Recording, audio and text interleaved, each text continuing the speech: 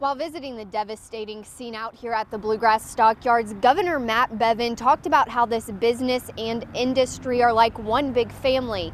He then went on to say as they begin picking up the pieces, their Commonwealth family is rallying around them. The governor, along with Agriculture Commissioner Ryan Quarles, started their visit by meeting with the chief operating officer for Bluegrass Stockyards and others impacted by the fire, offering their support as investigators continue combing through the rubble trying to determine what caused this fire. Governor Bevin then went on to get a first hand look at the destruction while talking with interim Lexington Fire Chief Harold Hoskins. The governor says his heart breaks for those affected, but says he knows they are a resilient group will come back stronger. Out of this tragedy, there are stories of people working together.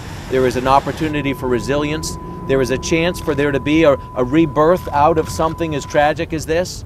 This is an integral part of this community, has been for many years and for generations. That's not going to change. The commitment is there. I'm inspired by it. Governor Bevin says the outpouring of support from other businesses and organizations is a perfect example of how communities do come together as a family in times of need. In Lexington, Hillary Thornton, WKYT.